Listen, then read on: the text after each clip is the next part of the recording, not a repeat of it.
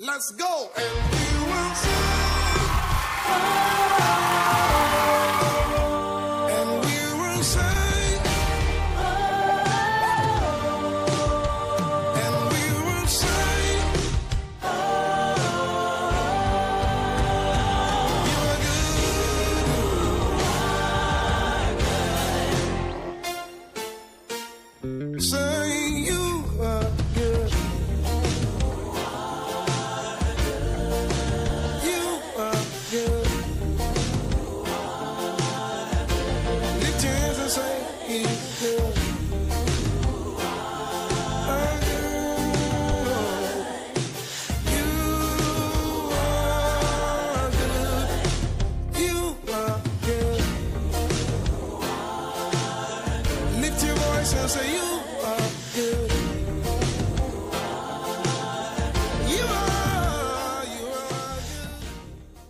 Hello, this is your Life-Buoy today, and this is Thursday, the 15th day of June 2023. So we are exactly in the mid month of June right now, and we want to learn about taming the tongue.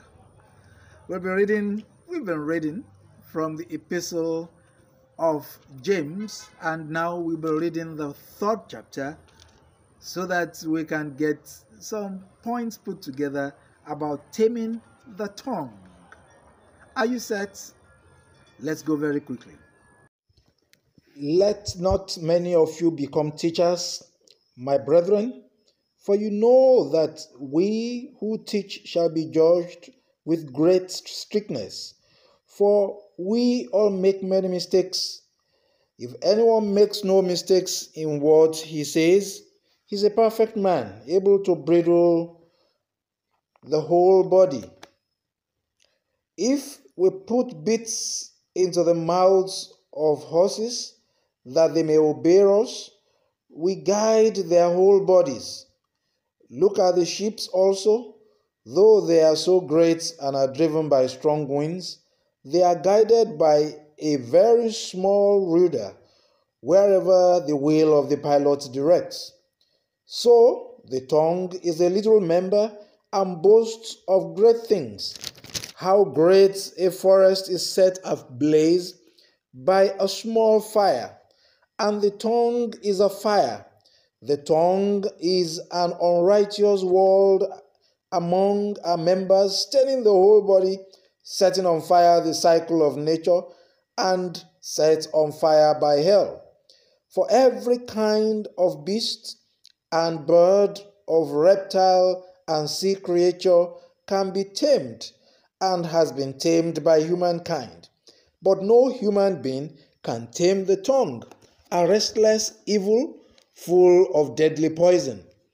With it we bless the Lord and Father, and with it we curse men who are made in the likeness of God. From the same mouth come blessing and cursing. My brethren, this ought not to be so.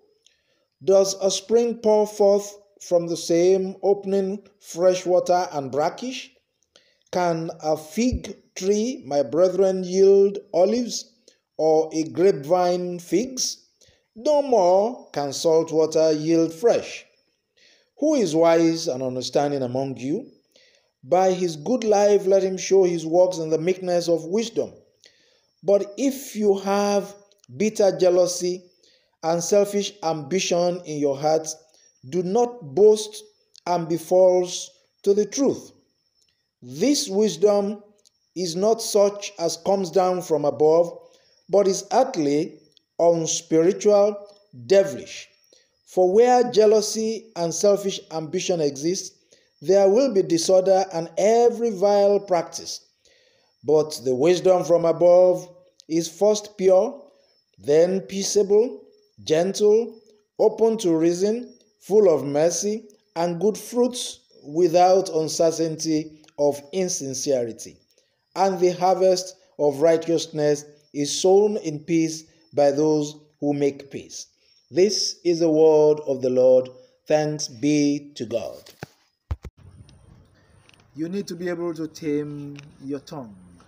I used to remember somebody that um, I was quite close to as an undergraduate, and you know, whenever she was annoyed and she wanted to trade tackles with her tongue, she would say in the Yoruba language that she is that person, she'll be hailing herself, that she's that person who could tongue lash anybody as if she was licking honey, and that she was one that would trade tackles with her tongue, you know, without making any losses.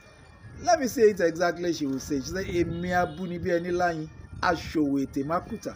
And then I used to wonder, why would somebody be like this? Well, she often got into trouble because she didn't bridle her tongue. And I learned a lot of lessons from that. And as I'm preaching to you, I'm also preaching to myself that sometimes I need to bridle my tongue, I need to tame my tongue. So learn to tame your tongue.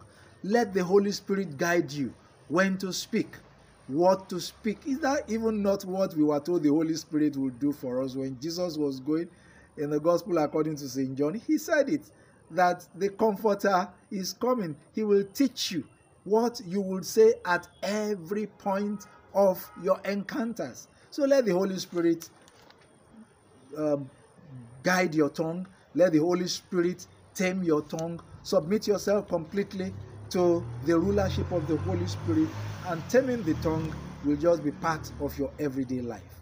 Well, that message is for those that are in Christ. Are you in Christ already? But of course, you can also learn to tame your tongue if you are not yet in Christ, but it's best for you to give your life to Christ right now. Are you set for that experience? Just say this prayer.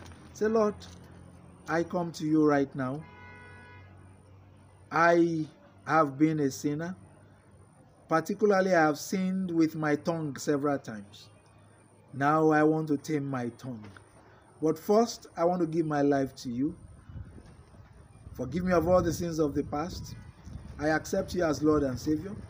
And I pray that you accept me as one of yours too from today. I pray in Jesus' name. Amen. Did you just say that prayer? Welcome to the fold of faith. You need to find a Bible believing church where you can learn the more about taming the tongue. And I always recommend that you join us where I am priest in charge in the Anglican Church Estate Extension, Oyikon and Goke Omigbodun Drive, Oroki Estate Extension, Oshogbo. You can join us every Tuesday for our midweek services, 5 o'clock in the afternoon, or on Sundays, 9 o'clock in the morning for our Sunday morning services. And as you go home today, or lest I forget before you go, look at the bank account details on your screen. Please drop something there together so that we can build a befitting physical space where we can serve the Lord together. Now say this prayer as you go home today. Say, Spirit divine, anoint my tongue that I may speak words that will glorify your holy name. From today, I pray in Jesus' name. Amen. So go out today. Go about taming the tongue. I need to be well with you. God bless you. You